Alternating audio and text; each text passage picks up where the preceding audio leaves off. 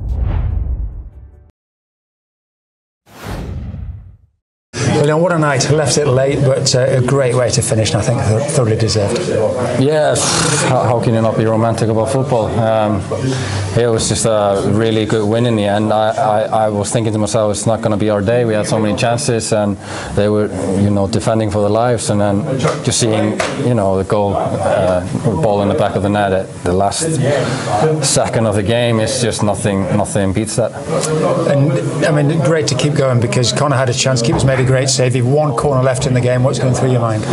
Just to put your body on the line, do everything you can to, to get get something out of that last uh, set piece of the game. And unfortunately, it fell to my my feet, and I just tried to hit the target, and unfortunately went in. It wasn't a bad old finish. You could have uh, had a, a, real swipe at that, but you kept your head down, drove the ball well. It was a super finish. Yeah, it was just a matter of breathe, compose yourself, and uh, just yeah, hit the ball in the back of the net. A bit reminiscent of last season.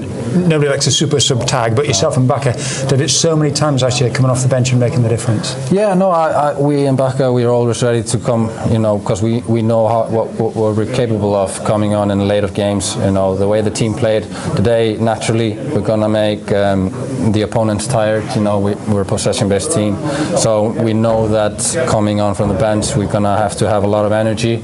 Uh, and I thought we, we did it really well, and um, yeah, it was good also just for Bacca as well to get a goal. He, he took that finish brilliantly and deserves that uh, really uh, much. Yeah, football is such a crazy game. You played on Saturday, you went off when the side were losing, you probably felt down in the dumps, and yeah. the teams won on Saturday, and you've come on and scored the winner tonight. Yeah, it's a, it's a weird game, isn't it? It's, it's an emotional roller coaster at times, and sometimes you have to be a strong character to uh, be content with those high and low emotions. Uh, I was frustrated with myself in the last game. I didn't think I was as good as I would have wanted to. I have high standards of myself, and um, and I just made sure to you know come back even stronger. And and I think I uh, did quite well today, and, and I'm just delighted just for the club and for the team to get that result today. You know, two wins in a row now is massive, uh, and it's just good for the atmosphere as well for the fans, and you can feel that like in the bottom of your heart every game. If, if you have get three points, everyone's happy, and, and that's what it's all about. Yeah, just lastly on two wins, but two wins in that style as well. What does that do for sort of belief going forward?